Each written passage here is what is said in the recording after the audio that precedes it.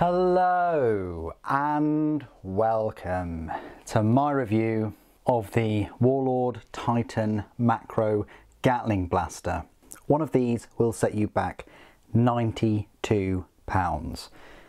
I know, that's uh, almost more than most miniatures and this is just a single weapon but it is for the most expensive uh, and one of the largest resin models out there that Forge World produce and your eyes are not deceiving you this weapon does exist contrary to the writers of uh, Warhammer 40,000 Imperial Armor Compendium book they completely missed uh, adding it into that book however uh, they have brought out an FAQ since with all of its rules and it's pretty good. I purchased one before that debacle and um, just because of the rule of cool. Looks amazing. Um, one of my favourite weapons is these long multi-barreled cannons uh, that Titans can have. Both the Reaver Titan one looks fantastic and I, I recently purchased the updated version of that.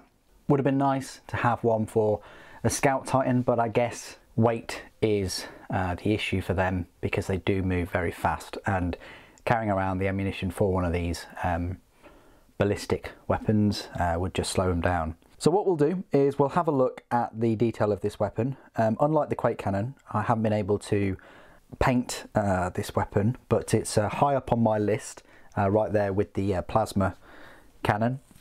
Then we will uh, go through some size comparisons with other Warlord Titan weapons and the, uh, the Reaver version of this. And then finally we'll end up with all of the rules for the weapon, which you know has been an absolute nightmare to get hold of because they're not in the book. We'll look at the 40k rules and the Horus Heresy rules. So this is the Gatling cannon. I haven't glued on the armor plates. Please don't freak out.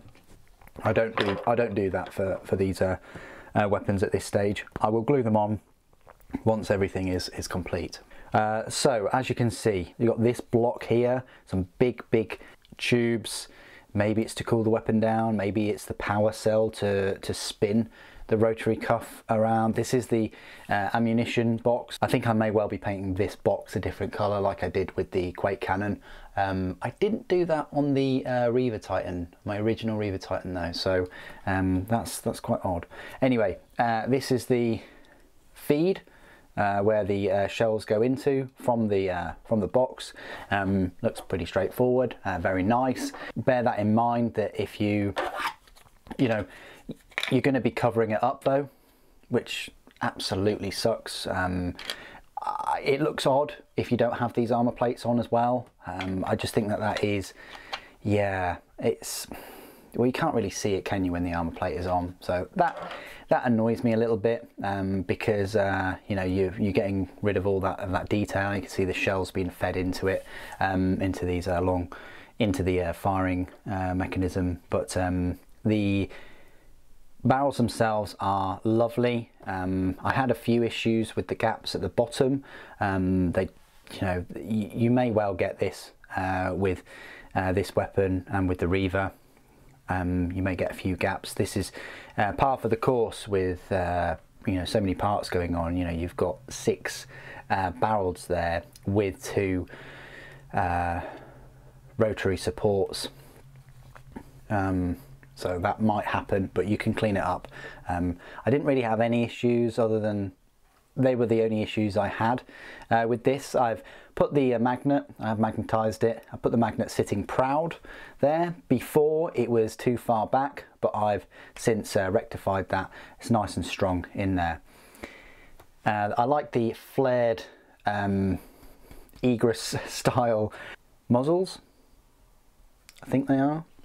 Um, but anyway, so first thing we'll do is we'll just compare uh, the macro Gatling blaster with a Reaver Titan Gatling blaster.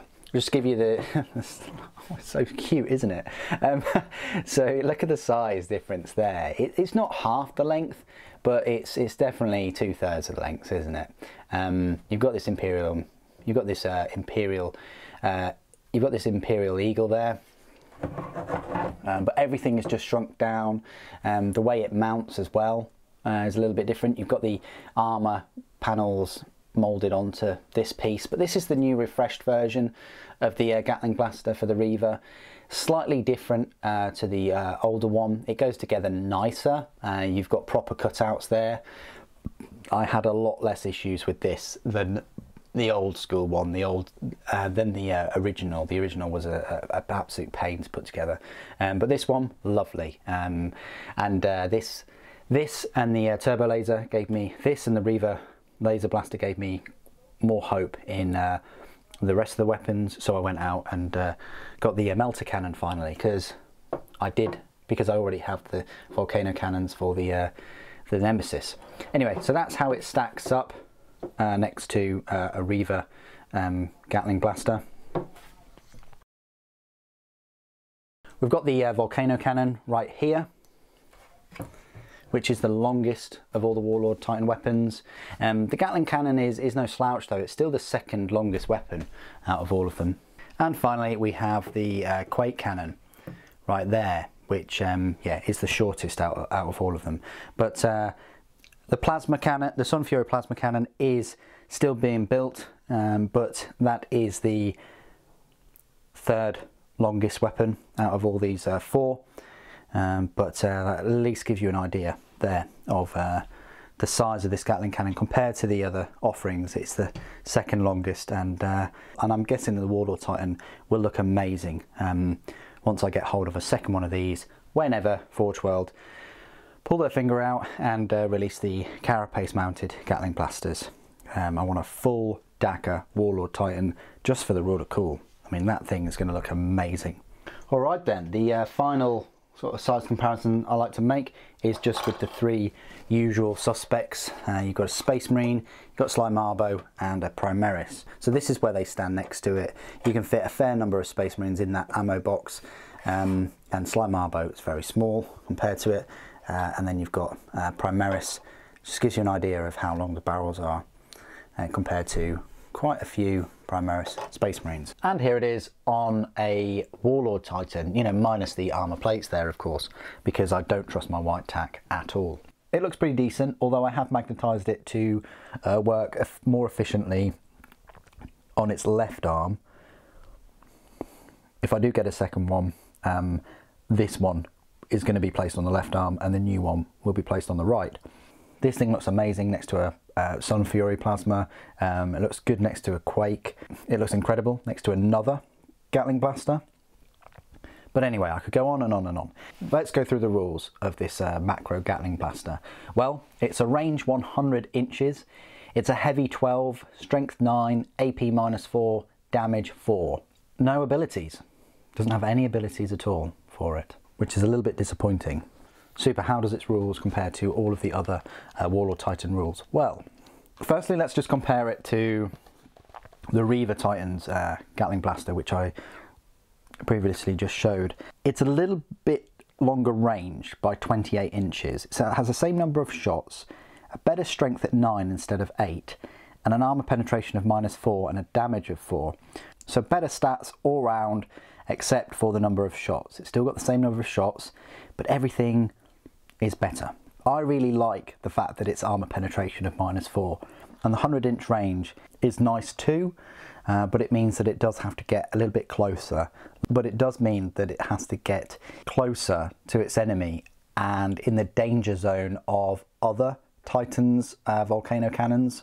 And I don't just mean the ones on Titans, I mean, um, you know, like the Shadow Sword and uh, Ordinatus uh, weaponry. How does it compare to the other Warlord Titan weapons then? Well, it's almost a third of the range of the Mori Quake cannon, and you need visibility to an enemy to fire it. I like how it has a straight up 12 shots though, rather than uh, random shots of the Volcano cannon, the Sun Fury, and the Quake cannon itself. Um, you know, it's just straight up, no messing, 12 shots, there you go. Its strength is the lowest strength of any of the weapons on the Warlord Titan, with the Apocalypse missile launcher notwithstanding, neither the point defense weapons uh, and also the that the Arioch Power Claw is equipped with. But we're comparing a Warlord Titan weapon to a, um, a Warhound uh, weapon there. Its armor penetration is all right. You know, armor penetration of minus four is, is good. It's the same as the laser blaster, uh, which is the carapace weapons, and it's the same as the Sun Fury Plasma Annihilator, but it just doesn't quite cut it compared to the Volcano Cannon and Quake Cannon, and I think that's quite fair. It doesn't do much damage at all, you know, only damage of four. However, you are getting 12 shots at damage four.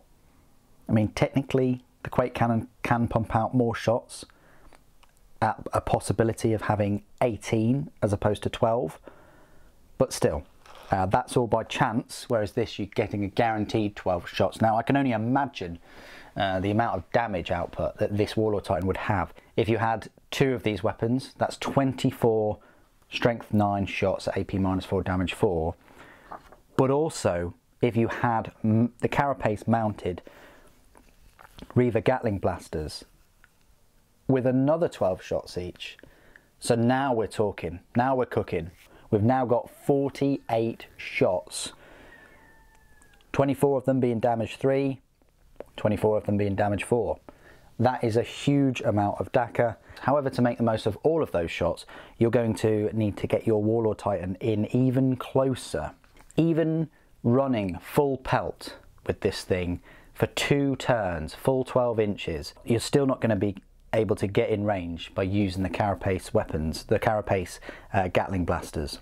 And furthermore, you're coming within danger range of uh, Reaver Titan's melter cannons and Warhound's Vulcan mega bolters. I mean, if your Warlord is within 72 inches of a Warhound Titan, it only needs that extra four inches because it can move 20 inches and then the, the range of the me mega bolter is 48. So two turns of moving from the Warhound and it's going to be able to make a big dint on your void shields um, just with uh, you know the hail of fire that 20 shots at that range can, can deal. And that goes the same for other Warlord Titans to be fair. So yes, it's a good weapon with a decent number of reliable shots, but at the same time, we're creeping into that 72 inch range. But for the rule of cool, it looks absolutely amazing. I love it, I really do and having uh, the carapace weapons on the top uh, as well. I mean, maybe it might be best to uh, use the Apocalypse missile launchers uh, with a pair of them. Okay, I've, I've, talked on far too much about 40k uh, rules for the macro Gatling blaster. Let's have a little look at the uh, Horus Heresy rules for the weapon. Now, now, this is where things get interesting. In Horus Heresy, it doesn't have that 100 inch range, it only has 72 inch range, so the same range of the Reaver Gatling Blaster, and uh, that's fantastic. And that's a disappointment, but it's fantastic for 40k. The strength, however, is a strength 10, AP3, so the AP3 compared to AP minus 4 for 40k is, is comparable. Um, a primary weapon 6, large blast 5 inches, and pinning. So you're getting six shots with it, there's six barrels, that's fair enough, but each one of those shots is five inch blast uh, marker.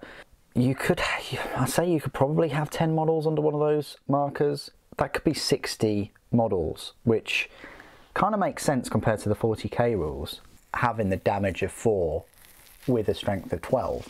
But this large blast rule depends on depends on your enemy having, uh, you know, five, having six, perfectly placed um, units of 10 uh, for you to just wipe out. Nonetheless, still very, very beefy in Horus Heresy. You know, that strength 10 is not to be overlooked, and the AP3 is decent at wiping out Space Marines. And it pins as well.